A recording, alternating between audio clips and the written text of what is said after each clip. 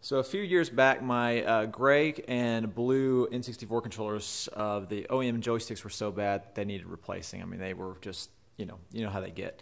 Um, so I went on Amazon. There were several different brands. Actually, I think at the time there were only like two different brands. Um, I don't remember this particular one that I'm reviewing today being on there. But anyway, um, and so I so they had you know the reviews kind of were same across the board. You know, everybody's got their different preferences and um, some have good units, some have bad units.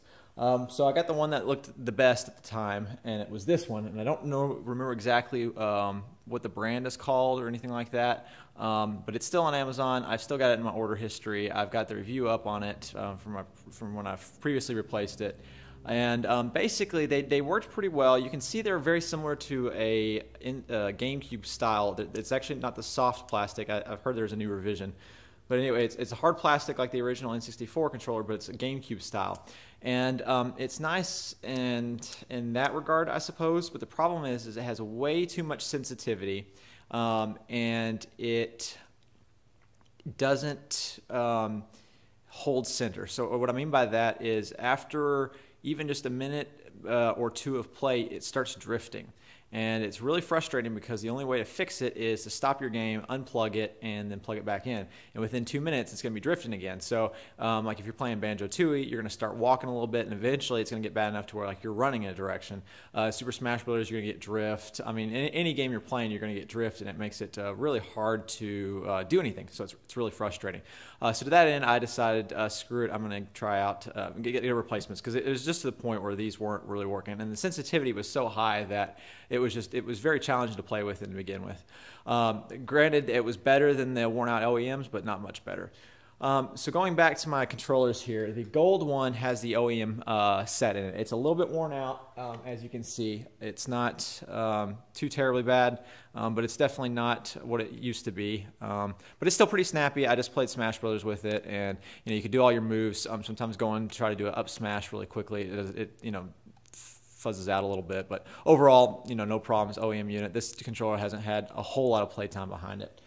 The other two, um, the gray one especially, uh, was the one that got with my N64 uh, many, many years ago, and so it was completely worn out. Uh, so you can see it actually still has the old style uh, replacement that I got in there. Uh, I hadn't replaced it yet. I just was I was using the the blue one as a test unit.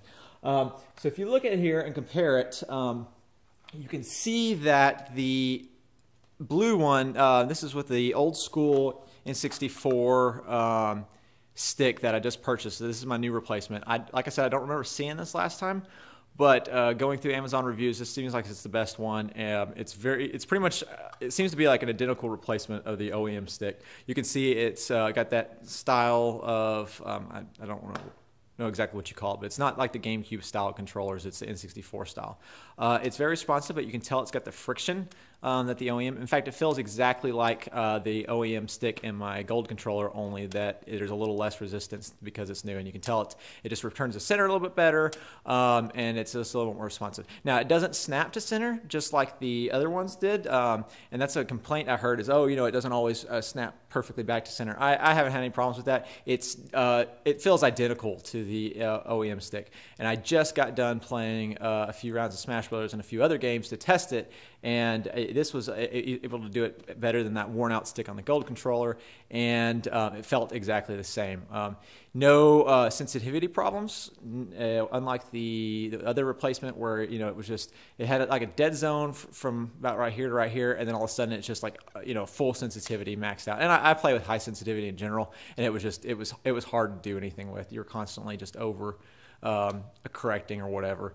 Um, so overall, I'm very, very pleased with this, this stick. Um, I would highly recommend it. It feels exactly like it's advertised, which is an OEM uh, replacement stick.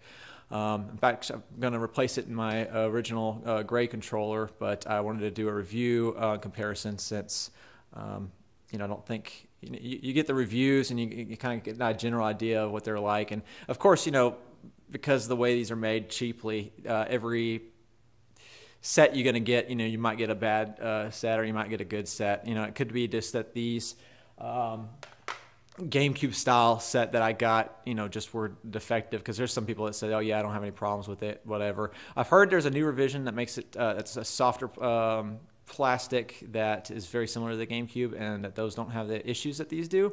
Um, but you know, after my experience with this one, I didn't really want to risk it, and I wanted something that was more OEM style, which is exactly what I got. So, I uh, hope you find this helpful, and um, I will link both products in the description below. That way, you can kind of see. Um, you know which one you want. But in this case, I would never recommend this one. Um, like I said, it's just it's too sensitive. It um, starts drifting, and then you know you're just having to constantly unplug and unplug your controllers like every two minutes of a game session, which is really frustrating. Uh, this old school one, I mean, it's comparing it to my actual OEM controller, it's exactly the same. Um, it functions the same, a little bit better, crisper. I'm sure it will wear out um, like the other one will, uh, just based on how it is. But you know, at uh, I think it was like twelve dollars. You know, super cheap. There's and how easy it is to put these in. I mean, you just basically pop off the screws and um, plug it in right there, and that's all you got to do. So, uh, absolutely would recommend the old school N64 uh, sharp sharpshooter sticks.